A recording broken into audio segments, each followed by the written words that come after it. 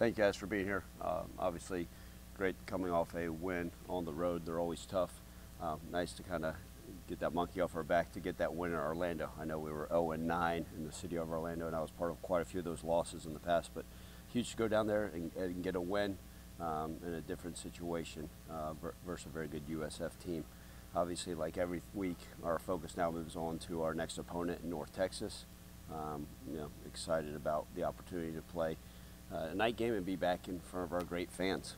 Um, they've got a tremendous team, much improved. They're five and one. They have the fifth best offense in all of college football and the fourth highest rated passing offense in all of college football. So it's going to present a tremendous challenge. North Texas continues to um, change up what they do defensively, so we got to be well prepared for that. Um, but we're excited to be back in front of our crowd. Also want to announce that as, as we've seen as part of the DeAngelo Williams Foundation, that $5 from every ticket purchased will actually go to mammograms in Memphis. So what a, a wonderful thing uh, that we're able to do and, and, can't wait to get out there and have a great week of preparation in order for our next game. All right, six games in, um, the defense had one rough game against Navy, but outside of that, how are you liking what you've seen out of that unit so far? Yeah, look, I mean, uh, I agree. I think they're playing really, really well. You go back to this past game, three takeaways, a touchdown.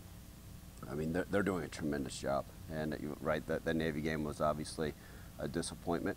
Um, like I've always said, hopefully that's an anomaly facing a unique offense, but we're going to continue to see different elements from that offense show up. But you know, they're playing with, with a sen sense of demeanor. Um, they're playing a physical brand. They're running to the football. They're getting takeaways.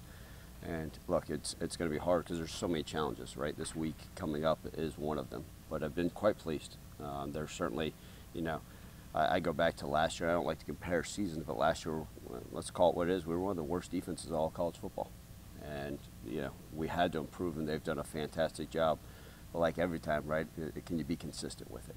And uh, quite pleased, Coach Hankins and staff have done a tremendous job. The, the young men in those rooms have bought into the way we're trying to play, and I think one of the things is what I love about that group is like all of our guys, right? Immediately, there's so many things we continue to improve upon and work on, and and uh, I, I, like their attitude and approach moving forward. And on the other side of the ball, um, the offense started hot, but then obviously pulled off the rest of the game. Just what are you seeing about the offense that you want to see?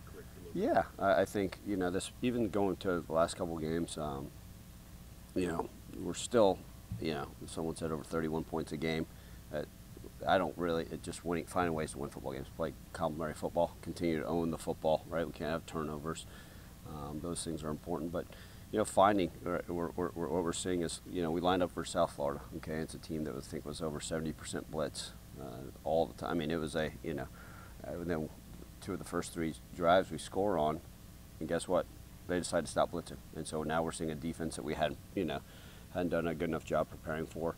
Um, we've got to be more efficient. Too many self-inflicted wounds, you know, whether it was penalties, um, you know, getting ourselves behind the sticks. We've got to be efficient because maybe those explosive plays are taking those away. So now can we put together those, you know, 10 to 14 play drives and be consistent with it? And sometimes we're not able to sustain those. Um, and, you know, we've got to find ways to be better at those things, find ways when explosives are there to be able to hit those, right? Whether it's to make the tough catch, make the right throw, protect better, all of the above.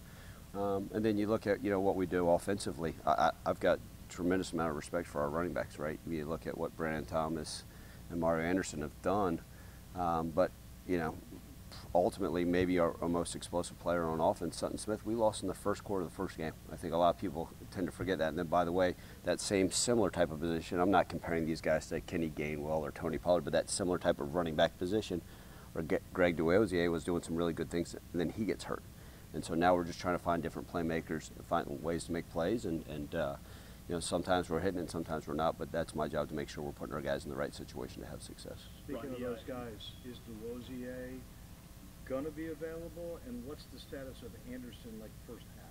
Yeah, so uh, first off, Anderson's fully available. That's, you know, uh, first and foremost, you know, his actions are um, completely despicable, and uh, that's not what we do in our program, and so I apologize um, on behalf of our program, the way we represent ourselves and our culture. Um, we played a team that was one of the most penalized teams in all college football. I think it, uh, we, we fell down to that level, and shame on us. And uh, but we'll we'll learn from those mistakes and improve. And then um, Greg is uh, still day to day, I don't foresee him being able to play in this game. Um, you know, but I, I do foresee him. He is one that I do plan on having back at some point this season. What did you say to Mario after the game? Yeah. Uh, one, I yeah, obviously saw him at halftime and let him know my disappointment with him. Um, comes a time where you raise your voice, and you jump down people's throats. Um, at that point, it probably wasn't the best time to do it. I think he understood his actions. Um, and then, like it did with all the really the stupid, let's call it what is foolish penalties we had in the game, I, I was pretty hard on our team yesterday at the team meeting. And it, it's, it's a good thing when you can be very, very tough on your team coming off a win, you know, on the road and, and let them know my disappointment, let them know what our culture is and what our standards are. And, and that's in everything we do, right? The way we behave in society. Um, every Sunday, I try to show them mistakes that really other athletes are making, right? Especially in college football, on the field, right? Whether it's stupid penalties, um, young men that are making domestic choices that aren't appropriate, uh, find themselves in the papers for the wrong reasons. And so I constantly am trying to educate our guys, and so uh, they understand, hey, these are the standards. This is the way we go about things, and and the, you know, and I think uh, hopefully I got my point across. And uh, you know, it's not just for those fifth year seniors. Also, like I, I sat back, I walked to the back of the meeting room. I said, listen, you freshmen, understand this is a egregious mistake and something that can never happen again in our program.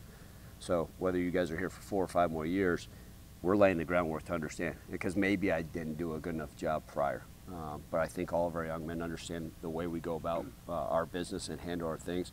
Uh, there's only one way to do it. It's the right way, and it's within our culture and our standards. So the expectation is we'll never see that again. And if we do, then shame on me, and I've got to do a better job. Well, Ron, you said you you'll take a million ugly wins and you'll win every game one nothing if they let you. How much does the eye test and how it looks matter in terms of projecting future performance and whether you can win those games against a higher quality competition? Yeah, I, think, look, first and foremost, um, you know, had we found a way to come back versus Navy, right, we'd be sitting here uh, at 6 0, but we didn't, you know. Um, every game's tough. I think you sit there, Matt, and watch college football and see some of the scores, see some of the stuff that happens, the ebbs and flows of a game. You know, some of these teams that were up so big and, you know, going into halftime, and you're dealing with 18 to 23 year olds, the emotions, momentum. Um, you know, to be frank, I don't really care about the eye test. It's about finding ways to win football games. And um, it's always pretty, like I said, we, we can certainly improve upon offense, and uh, we will. You know, there's some, even everybody says special teams was great. No, there's still a lot of mistakes out there uh, left in special teams, especially in the kicking game. And then, you know, ultimately the defense is playing well, but man, uh, uh, the opponent that's doing, you know, coming into our home that's uh, doing a tremendous job on offense, so we've got to step it up. Um, every week presents its own new challenges. Um, so, you know, if we, if we end up winning a game by one point, it's 52 to 51. Yeah, maybe fans will say, oh, yeah, you're putting up points. I'll be disgusted because we didn't do what we were capable of defensively. So just finding ways. Um, and it goes back to it, right? I've never been um, around a team that, you know, last year we were sixth in the country in scoring offense, but we were one of the worst defenses in college football. You know, reality, I don't necessarily stats, but know, if we can be top 25 in both, I, I bet at the end of the season our record will be pretty darn good.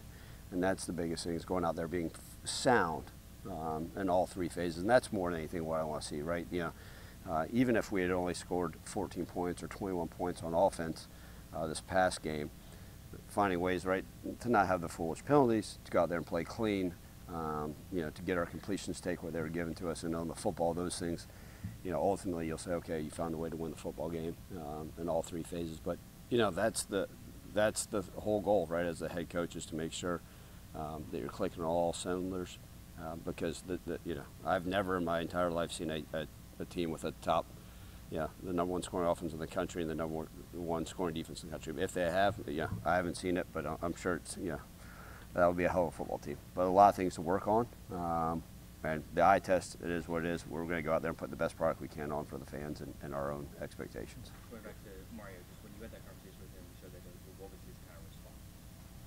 I apologize. Uh, it's uncalled for. It's not me. Um, he got it. He nodded. You know, and that's the biggest thing is you know when we coach our guys, um, it's not always pretty, right? And I love to be able to compliment our guys because I still believe in, you know, you want to promote your guys and you want to build up their self confidence and show them good, right? But you also, hey, a lot of times it's coaching them hard and saying, hey, this is not, whether it be on a block or it be on a, an egregious penalty, it, their reaction tells you everything.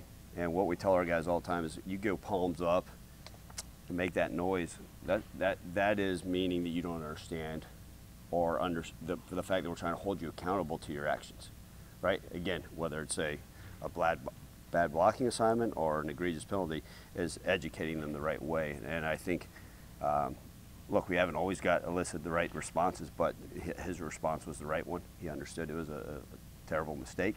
Um, he- he's a smart young man um, that was uncharacteristic of him and within our program. And so the, the fact that he responded in the appropriate manner tells me everything. Had it been a different response, just like it is when a guy misses a tackle and tries to make an excuse about the sun being his eyes, generally then you're going to feel my wrath and it may be uh, a, a different type of response from me. Uh, but most of the time I try to talk in this manner and get my point across, but other times it, it may take a size 11 turn sideways. But uh, our guys have been pretty darn good about understanding the way we do things. Coach, I actually one of these one per year. It's wrestling night this week. It's wrestling night this Saturday. Nice. I'm gonna ask you, your team's five and one. If you were to compare your team right now to a wrestler from your era or in your era, who would it be? Great question. One, I'm excited about wrestling night. You know, part of maybe in retirement, you know, Devin will come back and and uh, come to a, a Memphis. I plan to come a lot of Memphis football games in retirement. That's hopefully not anytime soon. I know some people want to rush me into it, uh, but you and I will be coming to and partake in wrestling night. You know, Jerry will still be rolling around. It's going to be awesome. Um, but if I could compare our football team to a wrestler from our era, yeah, I'd go with like Hacksaw Jim Duggan. You know, like does a lot of really good things. You know, tough. Um, uh, uh, fans love it. You never know what you're really going to get, um, but uh, some things that could be cleaned up. And so, you know, that's an interesting question. Not one I was ready for. You know, I'm usually relatively prepared for these press conferences, but you know, and if, if you don't appreciate Hacksaw Jay Duggan, you know, something's wrong with you. I could come out with a two by four and a oh, and I think that would be yeah, and the American flag will be rolling. Um, but I don't think anybody wants to see me also run out in little blue tights and a two by four yelling ho as we're going through. But that's my best comparison. Does that work? You you know you, you appreciate Hacksaw Jim Duggan, don't you? Yeah, yeah. I mean, obviously, so many wrestling legends, and again, I still greatly appreciate. I, I love the fact our marketing team, all those that are involved, do such a phenomenal job tying in things that mean so much to the city of Memphis, right? The old Mid South Coliseum, and and how much wrestling was started here in the city. I, I, I think it's so unique, and uh, you guys know about my relationship with Jerry King Lawler and how much uh, he means to me and, and this city and so many. So, and then what this city has meant to pro wrestling as a whole. So I think it's a neat thing that we can have that, and then so many legends have come through here. So, but uh, yeah, that's my answer. All right, Coach, here's a um, standard question. Okay. Um, kicking game. Yes, I knew it was coming. I was good. I can handle this one, I think. You got to be pleased with what every aspect other than the, the field goal kicking because it's been inconsistent. Does that change your strategy when you cross the 40? And is there are you confident going with this kicker? Jarvis, that's a great question. Um, uh, clearly, Tristan Vandenberg's done a phenomenal job on kickoffs, um, and you could actually see the energy and excitement from the sideline on uh, the success that he was able to have. Um, you know, the punting has been solid, uh, not perfect by any stretch of the imagination. Then, you know, we, we missed an extra point earlier in the season, and then uh, clearly we're not where we need to be on field goals. Do I expect us to be perfect? No, but every time we line up to kick call for a field goal, I expect it to be made. So um, we're not where we need to be. Uh, I've got great faith in Caden Costa and the rest of that unit, um, but we need to see production. Like I told our team, and actually I told our staff this morning, the bottom line is it's a results business, and that's all anybody wants to see. And results have to occur, right? If I'm dealing with our academic people, results better occur in the classroom. If I'm dealing with our athletic training room, results got to happen. Just like no different than the results got to occur by our coaching. If this is something we're coaching and teaching, let's find it. No different if I'm lining up to kick field goals, we expect them to be made. So, um, you know, haven't made a decision one way or the other. Our plan is for Costa to continue to be. Um, the decision making, um, look, we got to play it like we is. You know, I mean, some people ask, hey, what about those fourth and twos? I don't think, you know, any of those situations would have changed. um, going into the game, but a lot of it ends up with you know analytics and gut feeling as well. Um, but you know, we'll see where we're at. We, we may be in a situation where we're saying, okay, hey, is this a, a go situation? Kick a field goal. Um, we're already generally pretty aggressive. I don't know how much more off that spectrum we can get to, um, but uh, yeah, I've got yeah. You watch him pregame; he's making those kicks. It's just finding a way to let it translate uh, in that 60 minutes of game time. In that pregame, I watched Vandenberg in Orlando kick a 58 yarder, and he had like five or six yards to spare. Is he just not that accurate on a regular basis, or you know, what's his story? Yeah, well, Tristan's done a phenomenal job. I mean, I go back. To, how about that kickoff that went 80 yards? Uh, you know, I mean, Into the that's- wind. yeah, into the wind. It's uh, I can't hit a driving wedge 80 yards into the wind. Uh, but he, you know, look, he, clearly he's got a phenomenal leg, and he certainly has the ability to do it. Um, but then you, Costa pregame was also, man, crushing them and very, very accurate. So, um, you know, it's, it's one of those. You ca- uh, Tristan's certainly capable of doing it all, and if we've got to go in that direction, we will. But uh, yeah, I still think that Caden is probably our best option at this point. Kicking is such a, a, a mental deal. So how do you like affirm with them like you got to be better without like breaking this confidence? Uh, age-old question. I've been dealing with 26 years, Frank. In fact, I, I almost not even like jokingly, in our staff meeting the other day, I was like, guys, I've coached every position. I mean, literally every position, but kickers.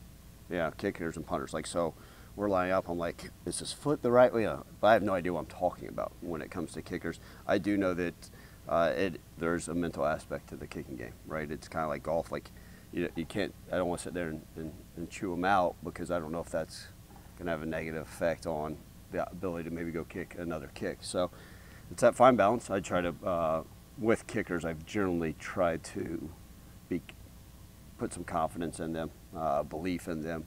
Um, no, I'm not saying I have never not chewed out a kicker, but um, with Kane, it's just because we know he's capable, you know, and he, he's a vet that's done it at a high level for a long time, and and so it's just more like, hey man, let's just get back to where you need to be.